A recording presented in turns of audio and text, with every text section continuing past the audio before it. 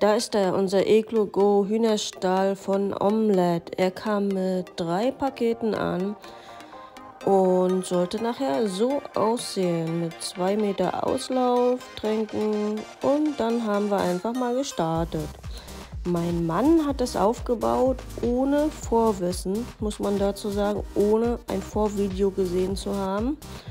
Die äh, Videoanleitung, die kam erst einen Tag später, nachdem wir es aufgebaut hatten. Da kam dann von Omelette die Videoanleitung. Und somit hat er ohne Vorwissen alles zusammengebaut. Ja, jetzt zeige ich euch nochmal die Schrauben.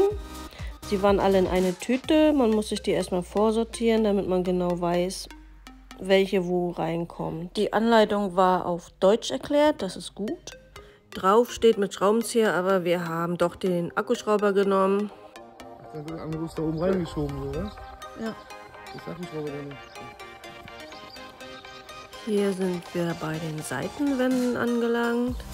Die sind ja doppelwandig, die Iglos. Und da kommt dann nachher noch eine grüne Außenwand ran. Relativ einfach anzuschrauben. Dann kommt noch so eine Halterung, so eine Rahmenhalterung quasi. Da kommt nachher das äh, Sitzbrett drauf. Wir haben ja quasi drei Kartons bekommen, weil halt die Räder noch mit dazu waren. Und äh, was in der Anleitung drinne hätte stehen sollen, dass man erst den Zaun zusammenbaut und dann das Iglu mit den Rädern zusammen am besten. Sofort mit den Rädern zusammen. Weil wir haben die Seitenwände nachher noch mal zweimal aufgemacht, weil man den Zaun da reinklicken muss. Und dann muss man die Außenwand abmachen und noch eine Leiste. Und nachher für die Räder mussten wir auch noch mal wieder was abmachen.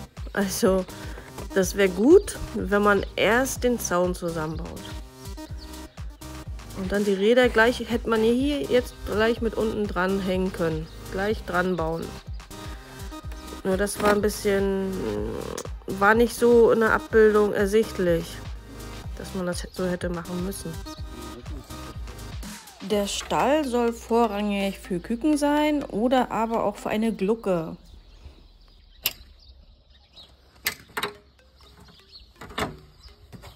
Und dafür brauchen wir natürlich diese Rillen, diesen Aufsatz, dieser hier dieser Aufsatz, den brauchen wir nicht, weil das können die Küken noch gar nicht treten. Da muss man dann immer schauen, wenn man noch zu kleine oder zu junge Hühner hat, dann muss man diesen grauen Aufsatz rausnehmen.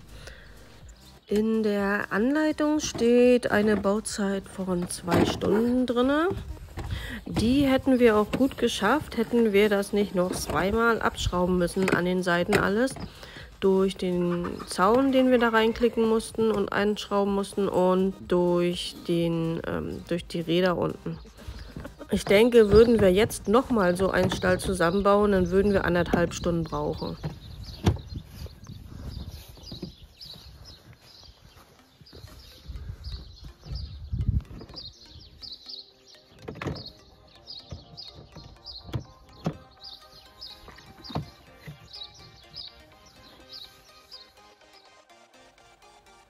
Das Dachteil wird dann ganz einfach mit ein paar Schrauben versehen. Zack, zack, zack, das ist schnell gemacht. Damit hat es Grundstabilität und kann nicht mehr auseinanderfallen. Dann kommen noch solche Platten ran als Stabilisation und das ist auch ganz fix und ganz einfach gemacht.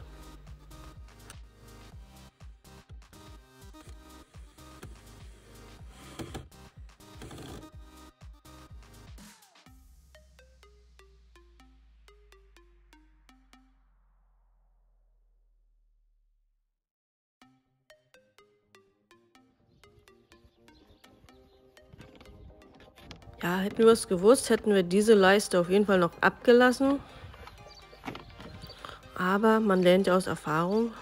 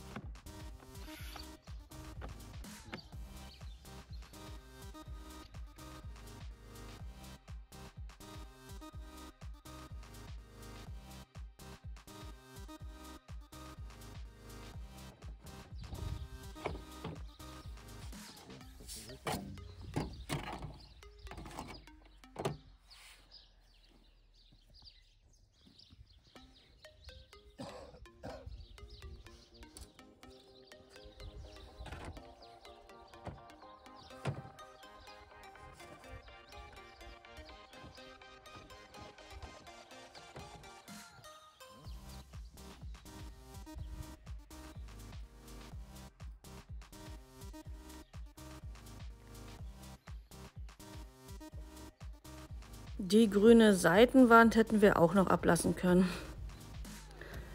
Weil der Zaun halt noch da dran kommt. Also zumindest noch nicht anschrauben.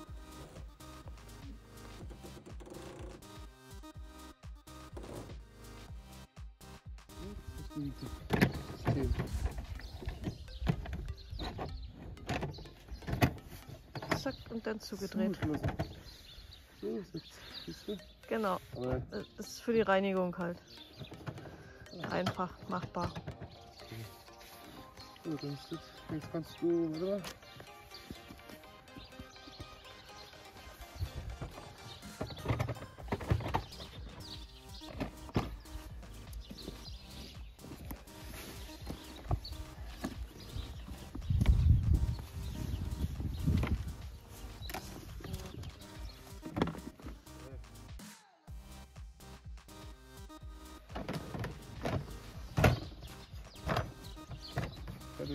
Fertig.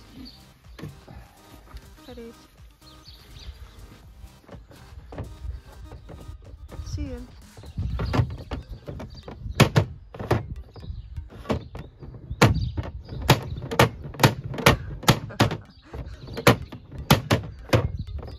Wenn ein Mann spielt.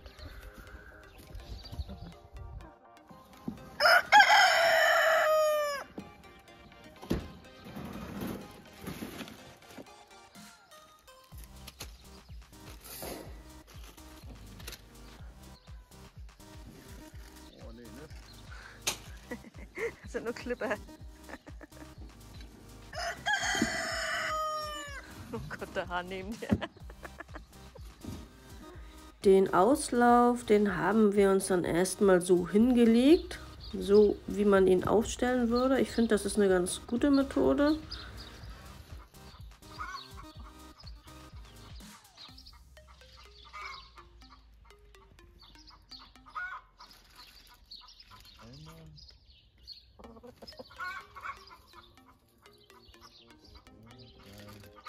Die ersten neugierigen Blicke da rein.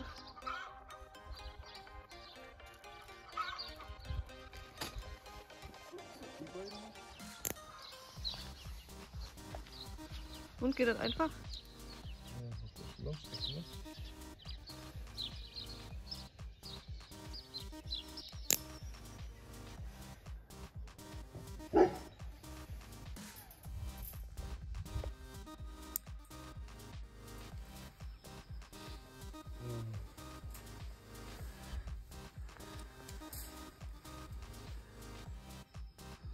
Ja, jetzt ist die Frage, den da hin? Nee, ist da.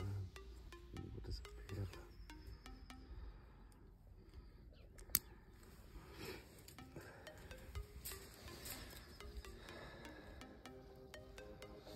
Hier nicht los. Das ist ja nachher auch schräg. Das musst du. Das ist nachher ein bisschen schräg.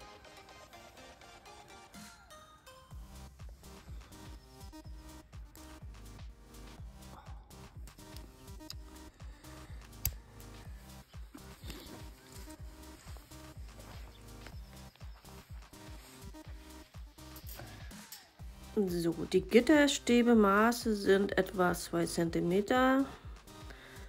in der Breite und in der Länge gute 7 cm. Das hatte ich nämlich nicht gleich gefunden, nicht sofort. Darum stelle ich das hier mal gleich rein.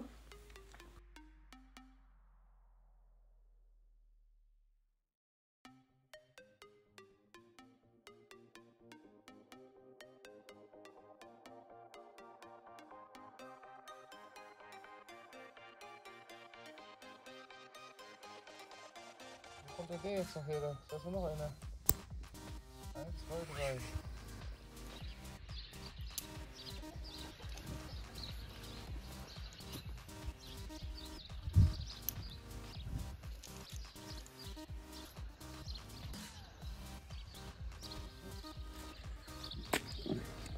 Und diese Stange macht den. Käfig erstmal so ein bisschen stabil nachher. Ansonsten wäre es doch zu wackelig. Die ganzen Clips finde ich sehr einfach.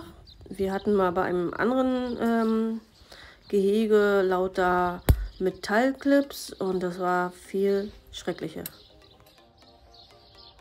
Hey, auch zusammenlassen können. Nee, kann ich nicht. Kann ich nicht.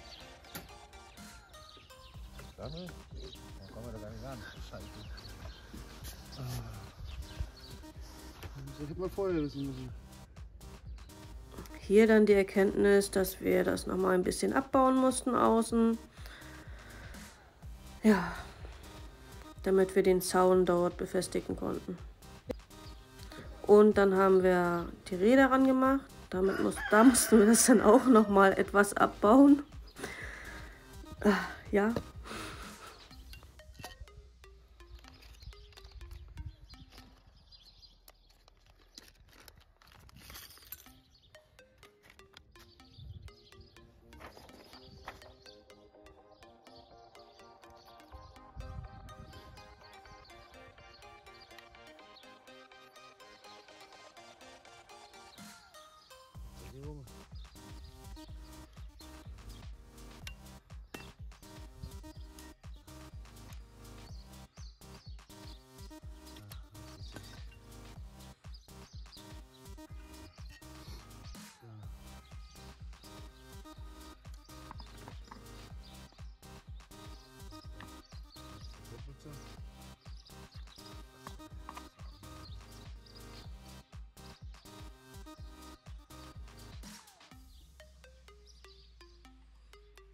So,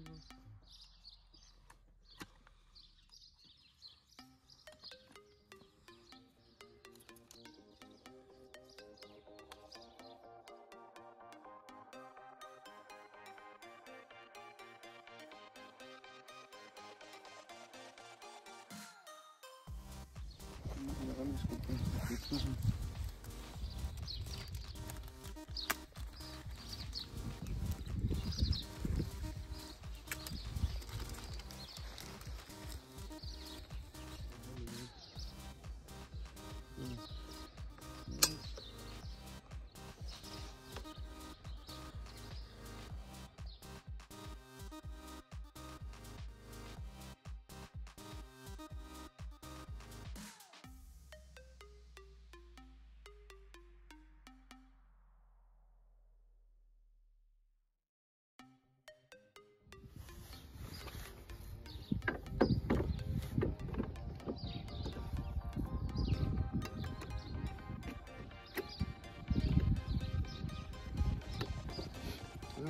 du runter machen willst, musst du an der Seite vorbei, glaube ich. So. Weißt Mhm. So kannst du die rollen jetzt. Wenn ich jetzt richtig bin. Dann muss mal gucken. Was ist das jetzt hier?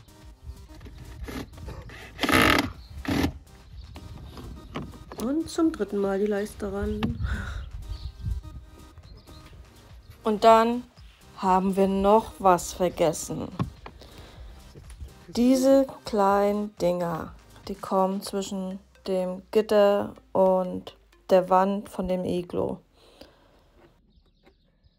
Und wir wollten dann nicht nochmal die Leiste abnehmen. Und dann hat mein Mann versucht, da drüber zu bohren. Und wenn da eine Einkerbung gewesen wäre in diese Leiste mit der Schraube, das wäre super. So ein bisschen ausgehöhlt so. Das wäre perfekt gewesen.